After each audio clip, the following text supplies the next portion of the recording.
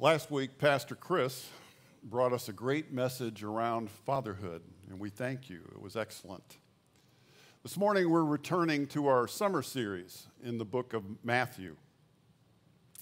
And so I want to stop before I get rolling here and I want to pray. And so, Lord, um, we come before you. We continue our worship and we worship in your word. So as we open your word, Lord, we pray that the Holy Spirit will do what only He can do. That He will take His word and move and, and just plant it, Lord, firmly in our minds and in our hearts so that your transforming work takes place in our lives and we are changed. And the sons and daughters of God said together, Amen. Well, Today's message is around the authority of the king. 30 years ago, Georgetta and I were members at College Hill Presbyterian Church in Cincinnati, Ohio. Now, some have called the Presbyterians God's frozen chosen. But I want to promise you at College Hill that was not true the, all of the staff, uh, and it was a large congregation, all of the staff were spirit filled. And most of the congregation were spirit filled, although not all. And one of the amazing things that happened in that congregation is everybody dwelt together in harmony. That was a, a most interesting time in our lives. Dr. Jerry Kirk was our senior pastor. And the Lord had placed on Jerry's heart this whole issue of pornography. It's a real blight on the land.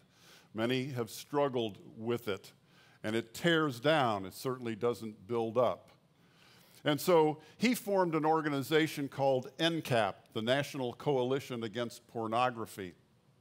At the same time, the Reagan administration was forming a, a, movement themselves to address this whole issue of pornography. Imagine that if you can. Um, you know, uh, politicians moving to try to take a blight out of the nation. But in that meeting room that day in the Oval Office that Jerry Kirk attended were people of great authority President Ronald Reagan, Vice President George Herbert Walker Bush, Attorney General Edwin Meese, and a whole who's who in the Christian world.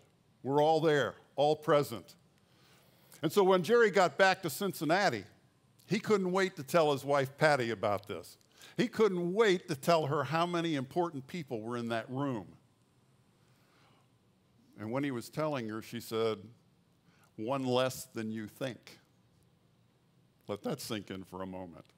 There were lots of important people in the room, and his wife says to him, One less than you think. Well, Jerry understood authority. He was a man with authority and he was a man under authority. And that's what we're going to look at today together. Two weeks ago, Pastor Charlie gave us a message out on the Sermon on the Mount. It's actually Matthew gives three chapters, five through seven, on the Sermon on the Mount. It's that important. It's the longest sermon we have of Jesus' ministry. In his great sermon, Jesus established his authority as the one who fulfills both the law and the prophets, the promised, the long awaited Messiah. He did this by teaching with an authority that was different than the teachers of the law.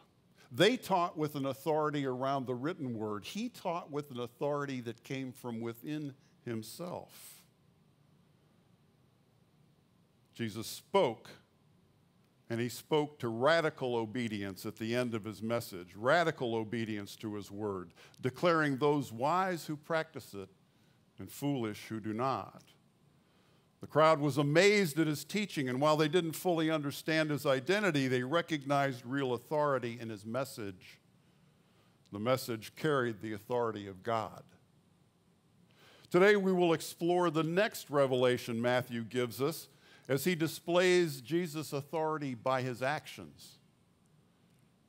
Matthew moves us from the authority of Jesus declared in the Sermon on the Mount to the authority of Jesus demonstrated through his miracles.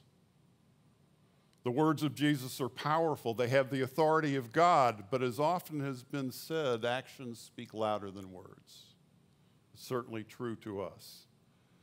So today's message looks at the authority of the king revealed through his miraculous actions, which are evidence both of his authority and his divinity.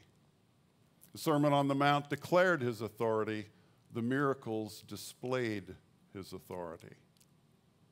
Matthew's gospel was written to the Jewish people. It was written so that they would understand that Jesus truly was this long promised Messiah and also the Son of God. Matthew uses, here's a good theology term for you, pericopes.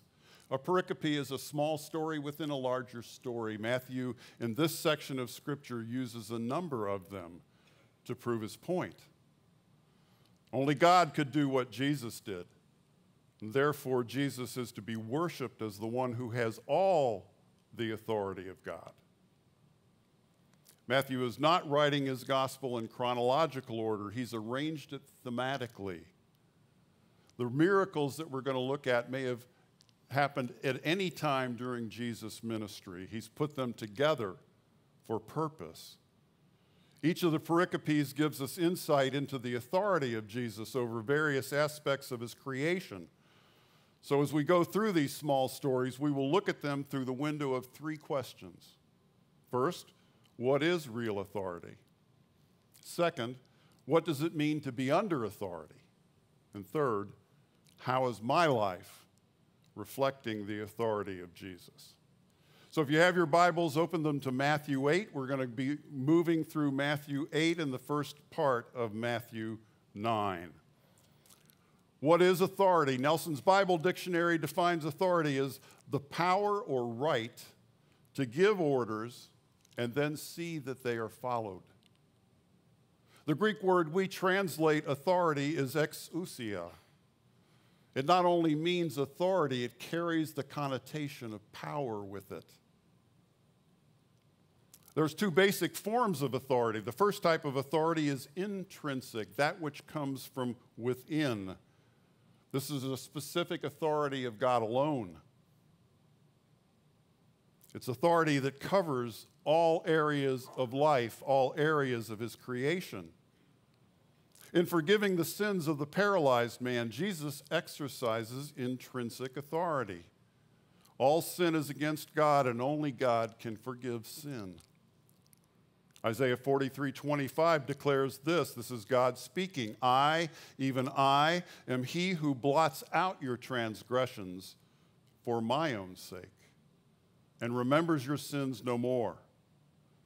Forgiveness comes from God alone. In forgiving sins, Jesus shows his divinity and his absolute authority over all things.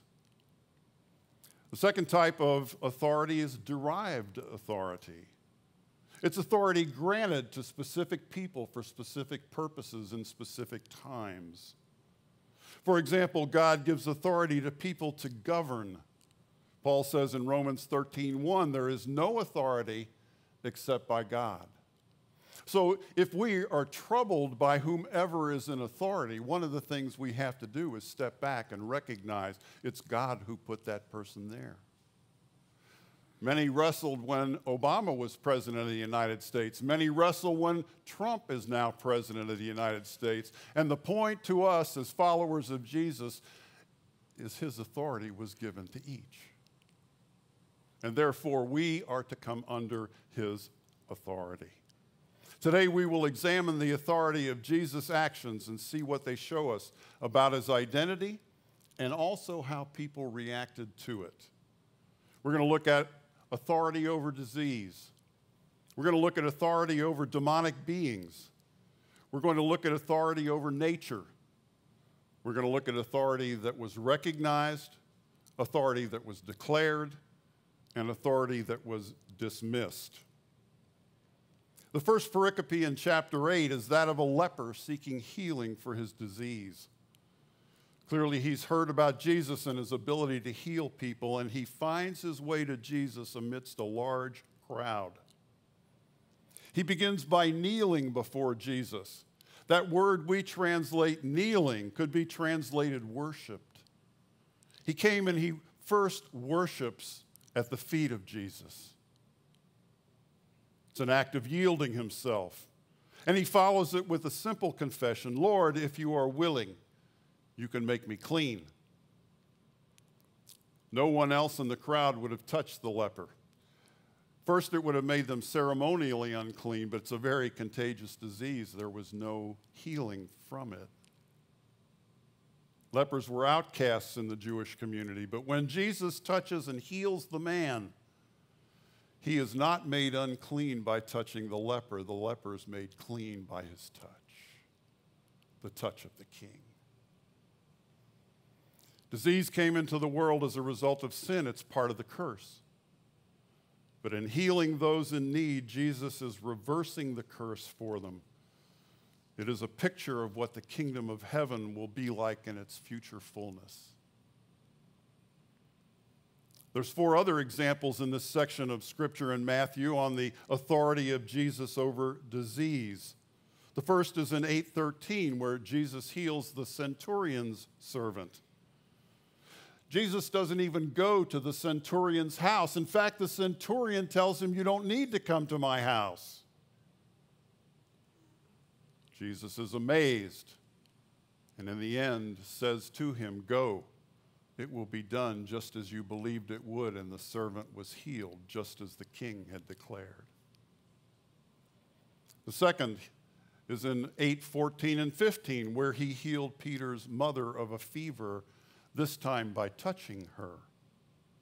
Her healing was immediate, and she got up and she began to serve the king. The third is in 816. There was a large crowd around Jesus, and they had brought many who were sick. And what Matthew tells us is he healed all of them. The fourth is in chapter 9 verses 2 through 7, where Jesus heals the paralyzed man. And what he says to him directly is Go, get up, take your mat, and go home.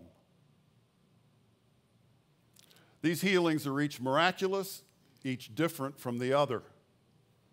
One spoken at a distance, one by touching, one by speaking directly to the man. There's no formula here. Each is unique. Each uniquely shows his authority. The centurion's faith was strong. He only needed Jesus to speak the word.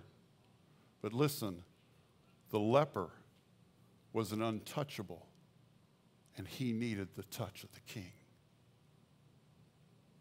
Matthew connects Jesus with the prophecy of Isaiah. Isaiah predicting 400 years before Messiah, he took up our infirmities and carried our diseases. The Messiah would be the Davidic king that everybody expected, but they had long forgotten he would also be the suffering servant. The healings during his earthly ministry can be understood in terms both of his compassion and the laying the foundation for the coming kingdom of God because sin brought about disease, healing, and wholeness, as well as eternal life, were paid for at the cross. They were paid for by his atoning sacrifice. These will all be fully manifested in the future kingdom of God. The second thing Matthew walks us through is Jesus' authority over demons. Our culture generally refuses to believe in the divine supernatural, although there's all kinds of undivine supernatural out there. Demons are outside the realm of our natural world, and they are therefore dismissed by many in the modern era. But Matthew pushes us to understand that there is more to this world than what we can see and what we can understand through either science or rational thinking. Jesus discerns first and confronts demonic forces and shows his authority over them. In 816, Matthew records many, many who were demon possessed, just like many who were sick. Many were brought to him who were demon possessed, and he drove out the spirits with what? A word. A word. The author of Hebrews says, For the word of God is living and powerful, sharper than any two edged sword, piercing even to the division of soul and spirit and joints and marrow, and is, of, and is a discerner of the thoughts and intents of the heart. There is no creature hidden from his sight, but all things are naked and open to the eyes of him to whom we must give account.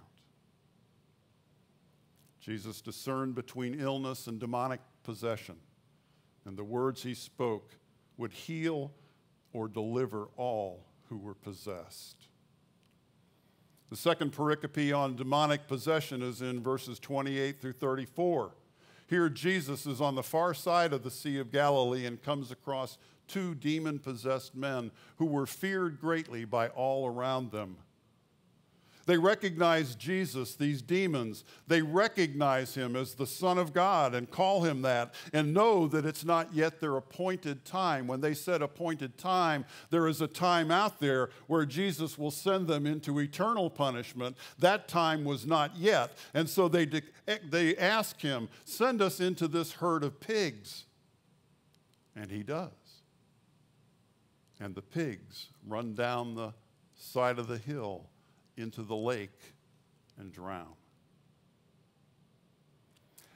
Even these are spiritual beings, but they are in no way equal to Jesus. They recognize Jesus, they recognize his authority, and they're subject to it. The third area that Matthew takes us through is authority over nature. The creator of heaven and earth displays his authority in this realm. Jesus is actually asleep in the boat on the Sea of Galilee. He's with his disciples, and a violent storm arises. If you've been there, you know that weather systems coming up to the Sea of Galilee can come up very quickly and force very violent kinds of storms. That's what happened. His, his disciples were fearful. They cry out, they wake him up Lord, save us, we're going to drown. His response is classic You of little faith, why are you so afraid?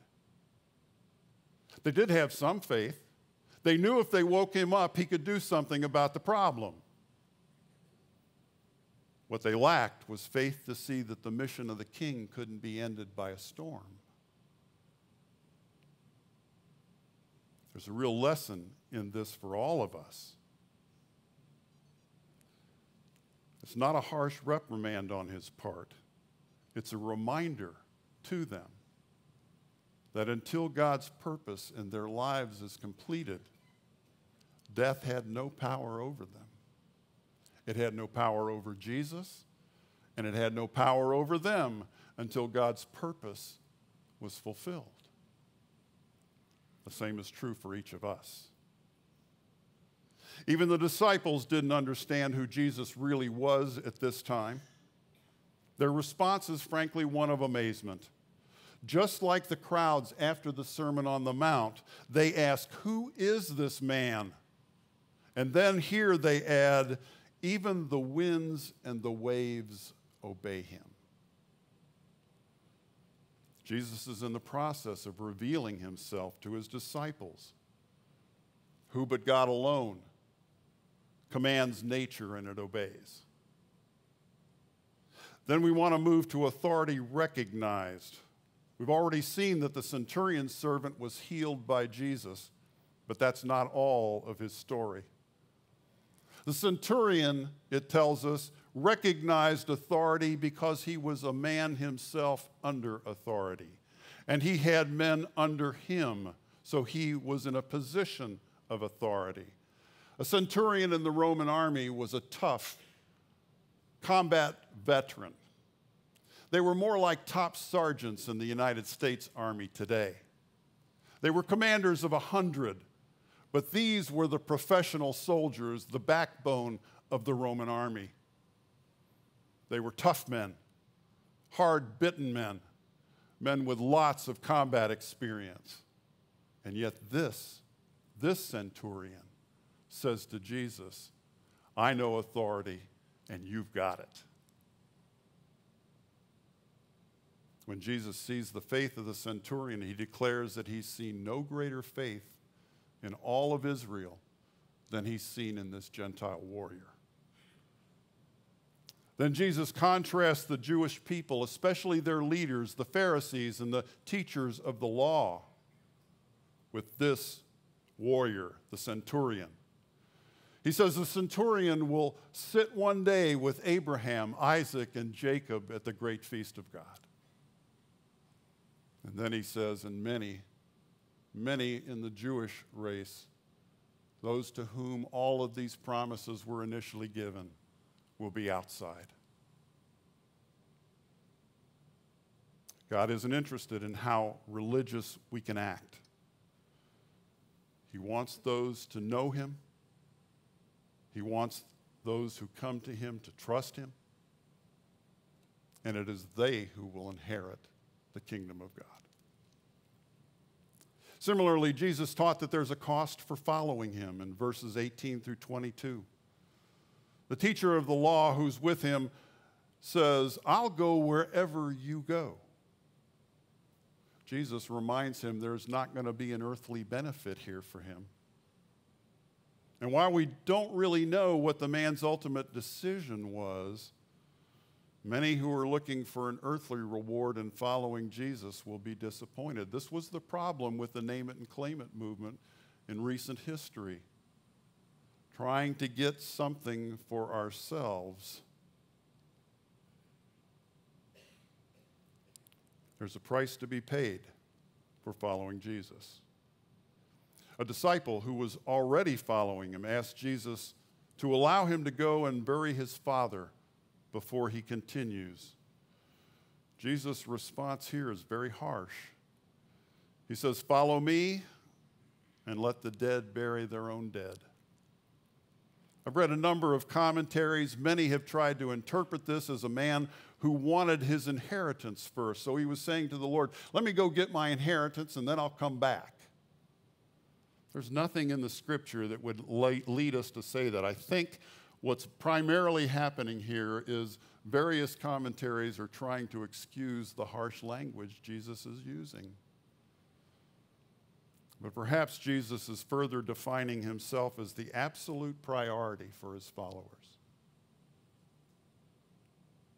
Perhaps Jesus detected within this man an insincere heart who wanted to accept Jesus on his terms, and Jesus let him know that was not good enough. D.A. Carson says even the closest family ties must not be set above allegiance to Jesus and the proclamation of the kingdom. Commitment to Jesus must be without reservation. Such is the importance Jesus himself attached to his own person and mission. Yes, this is a hard saying, but it addresses our second question what does it mean to be under the authority of Jesus? Finally, we want to look at authority declared and dismissed. Matthew 9 8 concludes this section of Scripture. Matthew preceded this section with the crowds declaring the authority of Jesus as a teacher unlike any other.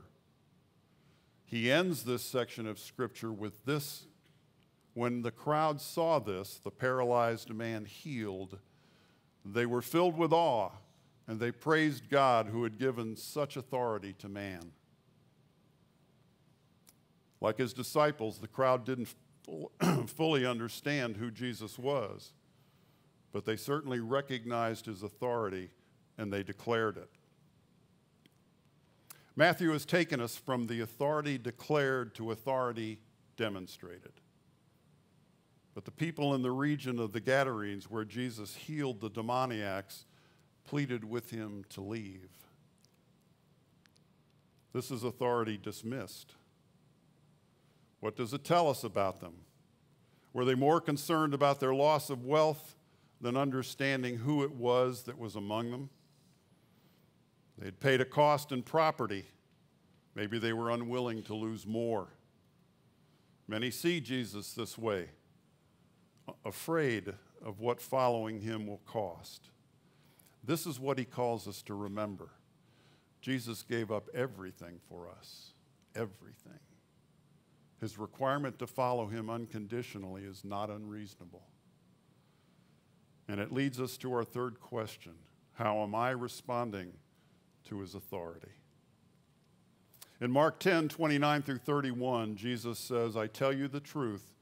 No one who has left home or brothers or sisters or mother or father or children or fields, fields are possessions, for me and the gospel will fail to receive a hundred times as much in this present age, and in the age to come, eternal life.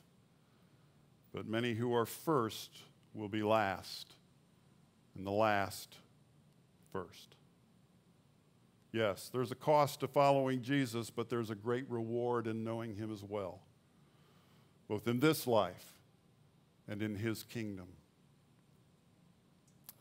So here are some questions. As a teacher, it's always the teacher that answers and asks the questions first. Do I want Jesus above everything else? Or do I want other things which are more important to me plus Jesus? Or do I want Jesus to leave me alone? Each of us will answer the questions. If there's a cost to following Jesus, there's a cost to choosing not to follow him.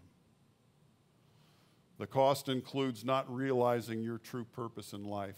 God had a plan for each of our lives before the creation of the universe.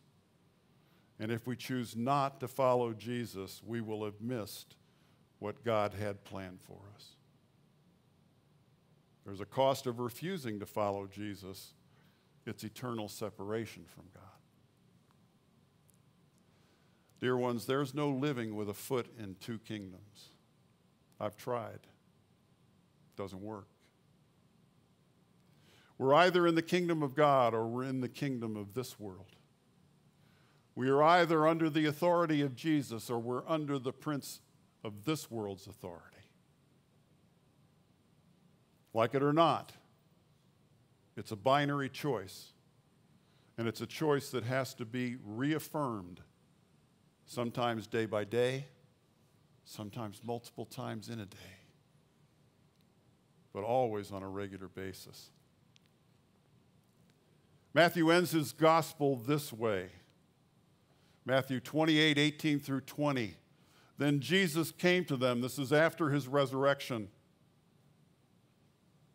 And he says, All authority in heaven and on earth has been given to me. He's repeating what we studied earlier. Therefore, he says, go and make disciples of all nations, baptizing them in the name of the Father and of the Son and of the Holy Spirit, and teaching them to obey everything I have commanded you.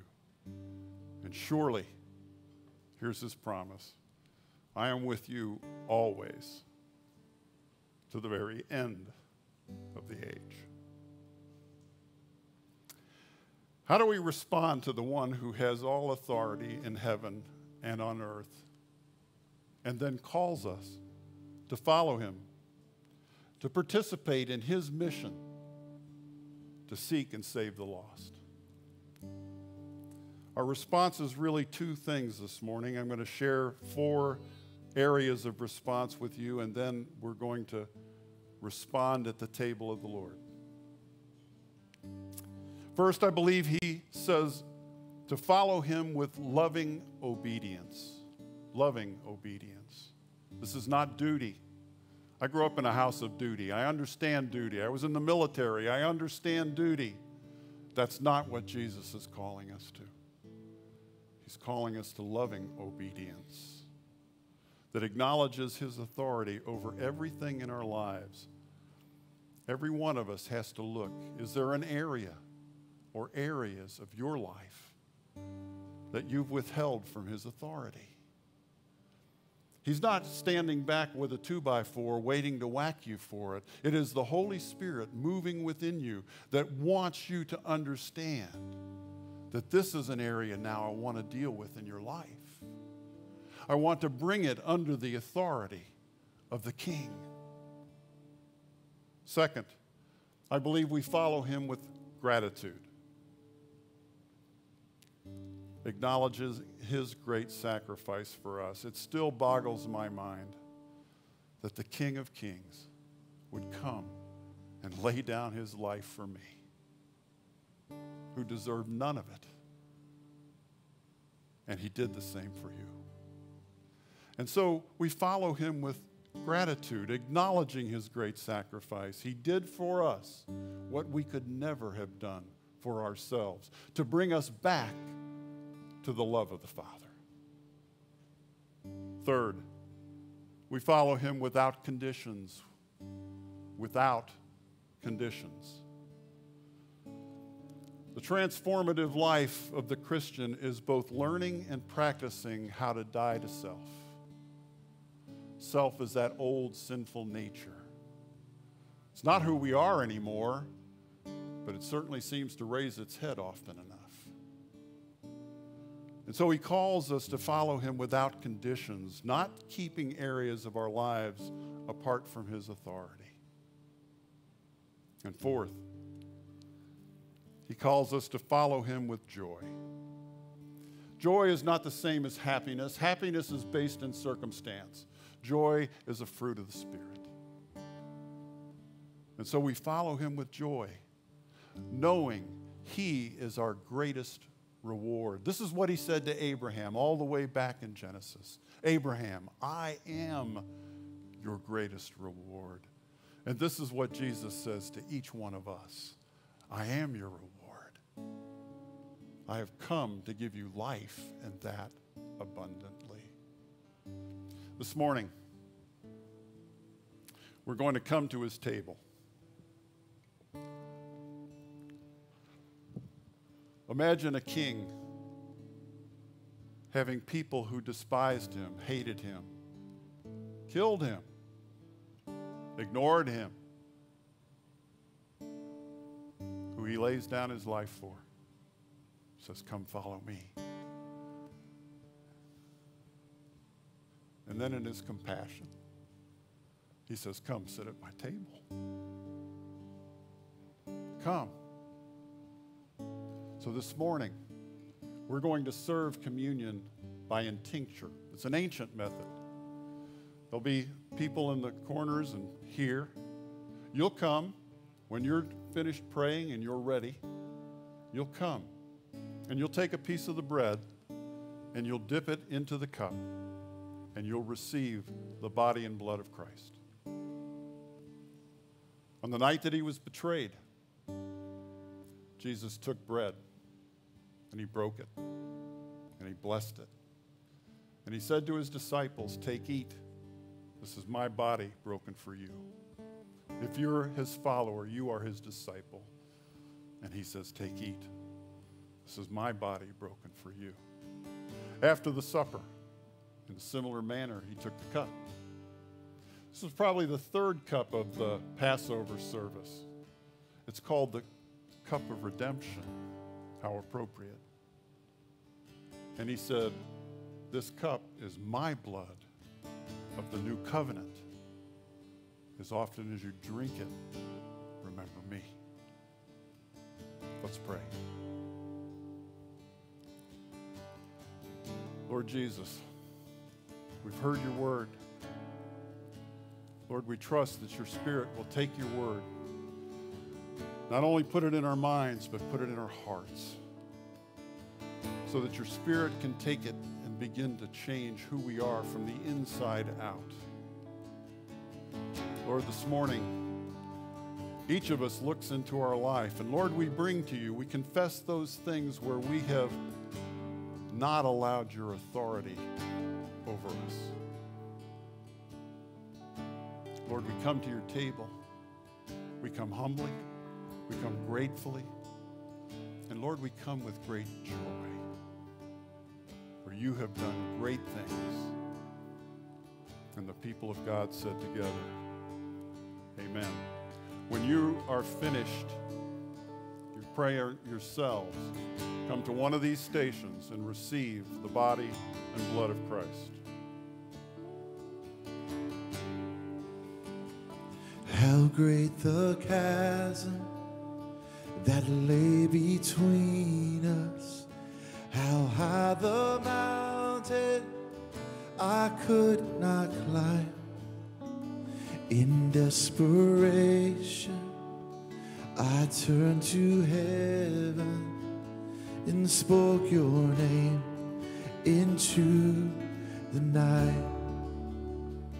Then through the darkness, your loving kindness tore through the shadows of my soul.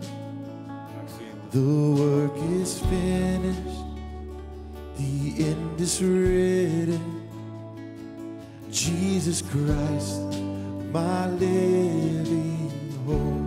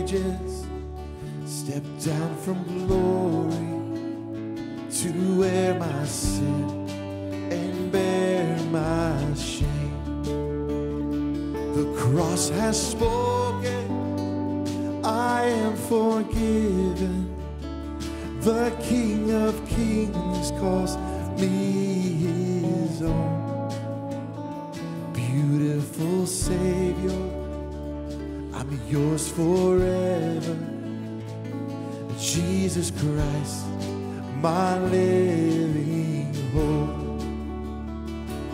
Hallelujah. Praise the one who set me free. Hallelujah. Death has lost its grip on me.